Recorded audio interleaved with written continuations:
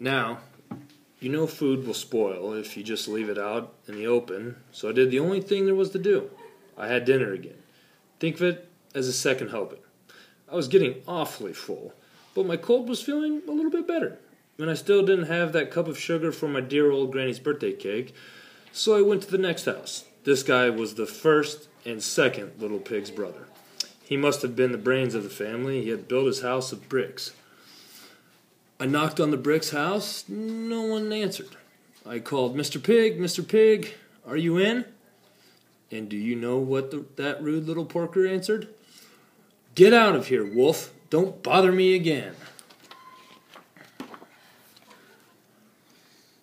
Talk about impolite. He probably had a whole sack full of sugar, and he wouldn't give me even one little cup for my dear, sweet old granny's birthday cake.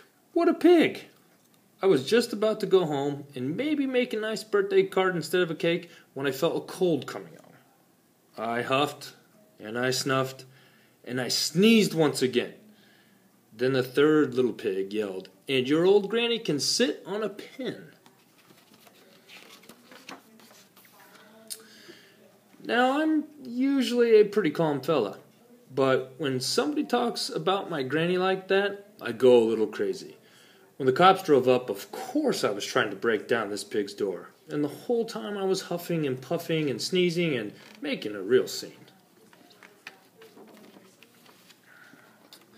The rest, as they say, is history.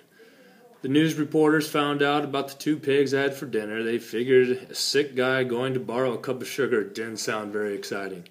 So they jazzed it up with all that huff and puff and blow your house down and they made me the big bad wolf. That's it. The real story. I was framed. But maybe you could loan me a cup of sugar.